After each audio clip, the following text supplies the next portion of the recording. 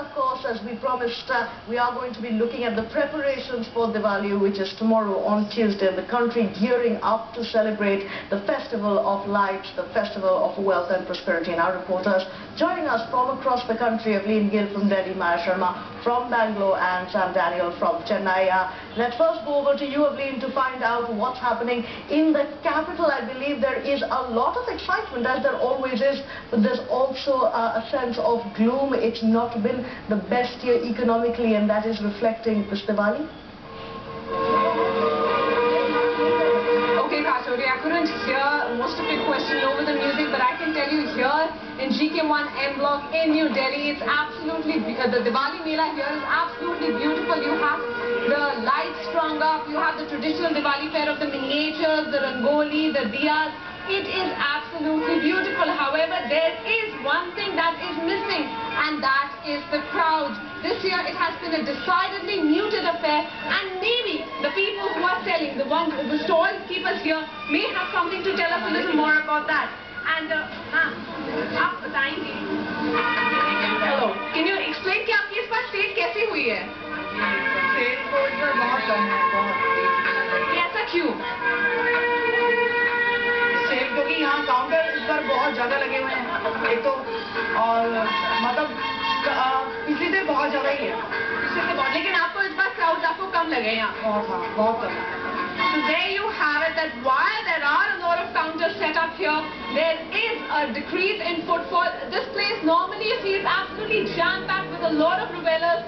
There's a lot of revelry going on here. There's nothing to give away in terms of beauty in the way the decorations are done up. But definitely the crowds are missing this year. So definitely, at least in New Delhi where the price uh, rise has been skyrocketing, it is a muted Diwali. Back to you, Kajori. Inflation pains being uh, clearly felt in the capital, but is it the same story in Bangalore? Maya Sharma joins us from there. Maya, tell us what the mood is like in Bangalore. Well, we're here at bustling Commercial Street. It is busy, there's a lot of shopping going on. But really in Bangalore, what is topical? We have the beautiful lights of Commercial Street for sure, but we also have, being cleared away now for a change, piles of garbage. And Bangalore's garbage issues are real, are ever present, whether it's Deepavali or not, the garbage is present. Joining us Dr. Meenakshi Bharath, who has been working for a cleaner Bangalore. What does Deepavali really mean in terms of garbage for a city? I think uh, the amount of garbage that is produced goes up n number of times because the packaging, the um, all the susurbatis, the everything is lying on the road and it really creates enormous amounts of garbage. For the people who are cleaning up Bangalore, it's a double task. It's not a holiday at all. And worse, it produces air pollution, it produces noise pollution, which can be deafening and very harmful to the ears. It produces so much of pollution to the people who are actually lung physicians, they're working overtime. Burns, the uh, all the skin specialists are working overtime. And also the ophthalmologists. There's so much of eye injury that happens at this time that for many a child, they will permanently lose light in their eyes. So Diwali is not some something that is really, we should get down to being eco-friendly, light a lot of diyas and just Yeah. do it without all the noise and the Let- sparkling. Let's check with some young Bangaloreans. You've been shopping on Commercial Street. Are you going to be bursting crackers this year? No, Why not? because um, like uh, what um, uh, Auntie said. Auntie said, um, it'll cause a lot of pollution Okay, and people will get hurt. okay. Plus, I think it's not, uh, you know, nice to uh, pollute the earth. Not nice to pollute the earth. What about you, little one?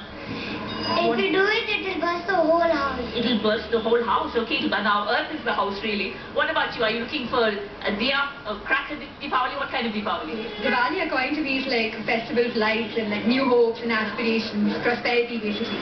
So I think it should be more about um, like you know getting together, celebrating together, and um, I just wish there could be fireworks minus the pollution, some way to like get that.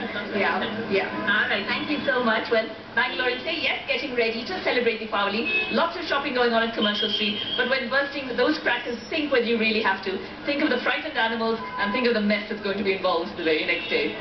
I'd say clearly, Maya, uh, Bangalore sensitive to the environmental needs uh, of the hour. Uh, let's go over now to find out what's happening in Chennai.